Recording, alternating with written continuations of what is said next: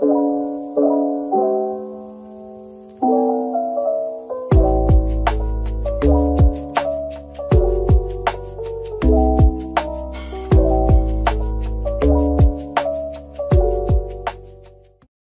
guys. Morning, morning, morning. Happy Monday morning. We are back in the car. We are back in the car because we are still recovering from the hurricane and my power is currently out at my house and the lighting is better out here.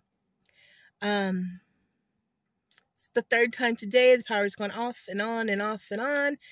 They are still about a week shy of a month later still trying to get our power lines and poles fixed. Um, it's going to be a long time before we are back up to 100% from this hurricane. We still have no ETA on most people's home internet, mine included.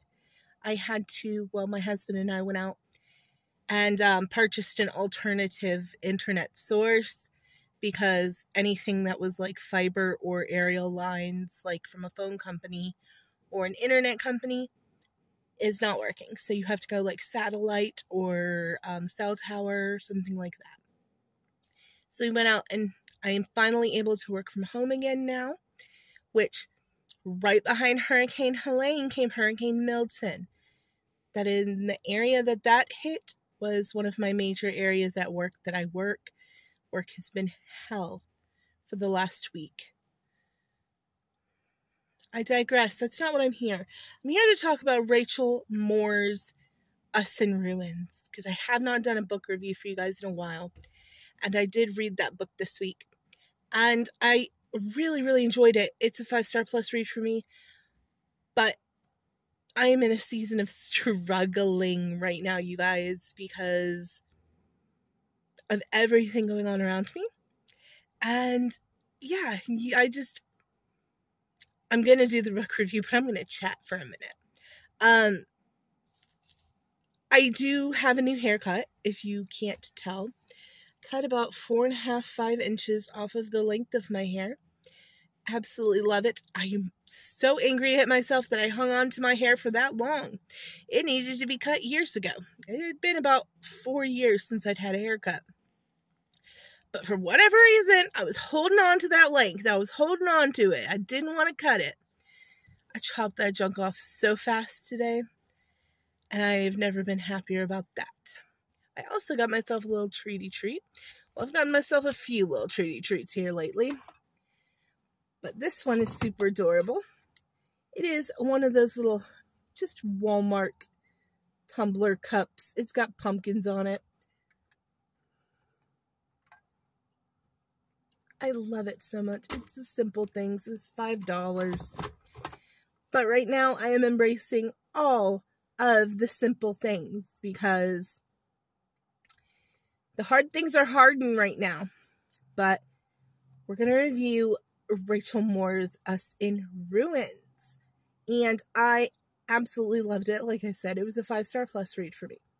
If you like um Indiana Jones, trying to think Tomb Raider, any oh the Mummy, any of those archaeology type based movies, um, but and are okay with YA because it is very YA. Um, I highly, highly recommend this book. It deals with a girl named Margot, who is, I believe, like a senior in high school, and she is on an archaeology trip um, they are searching for Pompeii and things of that nature. She's from the US, but she is flown to Italy in the Pompeii area. And she is looking for the vase of Venus. It's like this vase that's supposed to give you love, like unimaginable love. You're supposed to make you super, super lovable, and everybody will love you. And Margot's having a lot of self doubt issues. She comes from a divorced parents recently, and she just is craving that love feeling. She also has with her a diary that she found from a young man named Van in the 1930s, who supposedly found this vase of Venus and then disappeared. Nobody ever saw him again. He fell off the face of the planet. They believe he was crushed in a um cave in, like an archaeological cave in. Um, and so Margot is dealing with some very petty classmates that are making her feel like she doesn't belong on this trip. She's also trying to do her research on her own, sneaking off, and she finds this statue and she realizes that this statue looks a hell of a lot like the photo she has of Van from his diary. And she has a shard to the vase of Venus, just one, and she brings it near the statue because it's in her backpack, and the statue comes to life. And it is Van. Because back in the 1930s, he had tried to take the vase when he found it, and the vase turned him into a statue. So now he is unstatued, and they are looking for the rest of the shards of the vase to put it back together and win this reward. She wants this reward of there's a word for it, but it's just like incomprehensible amounts of love from everyone. And he wants the treasure of gold because he wants to be wealthy and well off. And um, it's just a really fun story. Lots of trials from different um, characters in the book. And I just really, really enjoyed it action, adventure, young love. Um, the spiciest it gets is a kiss because it is, like I said, YA.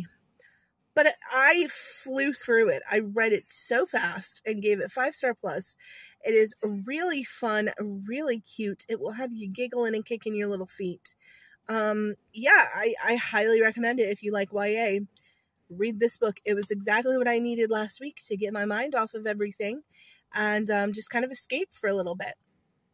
But yeah, that was a five star plus read for me, and I have not had one of those in a little bit. I think the last one I had was God of the Woods, but I really, really enjoyed it. Um, so go read it for sure. That's really all I have today. I wanted to do this review of um, Us in Ruins for you guys. I meant to bring the book out here because it's absolutely gorgeous. It has a gorgeous, gorgeous cover. I will put the the cover of the book in the thumbnail because I want you all to see the cover. I left it in the house. I'm not going up the hill again to the house to grab the book. Um, I'll just put a picture of it in the thumbnail so you guys can see the absolutely beautiful cover of this book. Um, it's why I purchased it. I didn't. I've never read a Liz um, Rachel Moore. Sorry, God of the Woods is by a Liz Moore. This is Rachel Moore. Both five star plus reads for me. Um, but so I've never read a Rachel Moore book before, didn't know what it was going to be about. So I bought it strictly because of the cover, and I'm really, really glad that I did because it was really good. And the cover is beautiful on my shelf. So yeah, read Us in Ruins. Keep praying for us who are affected by these hurricanes. It has been a struggle. And I will probably not see you guys until next week. We have a What I Read in October coming up. It's going to be a light one for me. I'll be lucky to break 10 books this month just from going into the office when I couldn't do the internet and no power. And it has been a very light reading month. But I did read at least 10 books and I'm excited to tell you about them.